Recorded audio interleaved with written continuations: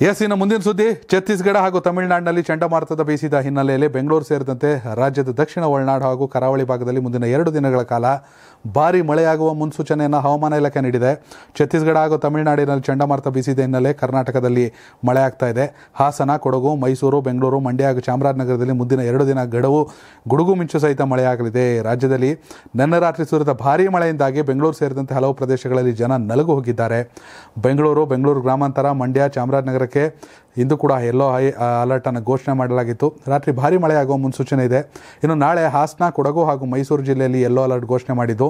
ಕರಾವಳಿ ಭಾಗದಲ್ಲಿ ಹಗುರದಿಂದ ಸಾಧಾರಣ ಮಳೆಯಾಗಲಿದೆ. ದಕ್ಷಿಣ ಕನ್ನಡ ಹಾಗೂ ಉಡುಪಿ ಜಿಲ್ಲೆಯಲ್ಲಿ ಮುಂದಿನ ಮೂರು ದಿನಗಳು ಸಾಧಾರಣ ಮಳೆ ಆಗುತ್ತೆ ನಂತರದ ದಿನಗಳಲ್ಲಿ ಮಳೆ ಕಡಿಮೆ ಆಗಲಿದೆ ರಾಜ್ಯದ ದಕ್ಷಿಣ ಒಳನಾಡಿನಲ್ಲಿ ಅಕ್ಟೋಬರ್ ಹದಿಮೂರರಿಂದ ಮಳೆ ಪ್ರಮಾಣ ಕೊಂಚ ಕಡಿಮೆ ಆಗಲಿದೆ ಅಂತ.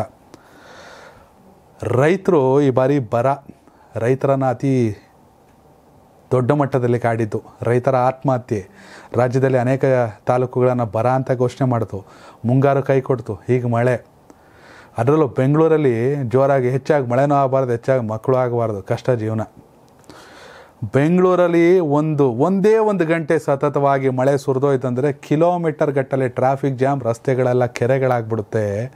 ಎಲ್ಲಿ ಏನೆಲ್ಲ ಅನಾಹುತ ಆಗ್ಬಿಡುತ್ತೆ ಅನ್ನೋ ಗೊಂದಲ.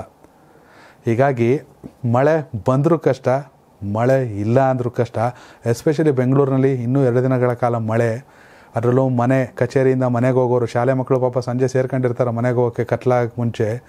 ಅದರಲ್ಲೂ ಕಚೇರಿಯಿಂದ ಮನೆಗೆ ಹೋಗೋರು ಸೆಕೆಂಡ್ ಶಿಫ್ಟು ಈ ರೀತಿ ಇರೋರು ದಯವಿಟ್ಟು ಎಚ್ಚರಿಕೆಯಿಂದ ಇರಬೇಕು. ಅಲ್ಲದೆ ಈ ಕೊರೋನಾಗಿರೋಂಥ ವರ್ಕ್ ಫ್ರಮ್ ಹೋಮ್ ಅಂದರು, ಅದೇ ರೀತಿ ಮಳೆಗೆ ಒಂದಷ್ಟು ವರ್ಕ್ ಫ್ರಮ್ ಹೋಮ್ ಮಾಡಿಬಿಟ್ರೆ ಒಳ್ಳೇದಾಗ್ಬೋದೇನೋ ಗೊತ್ತಿಲ್ಲ.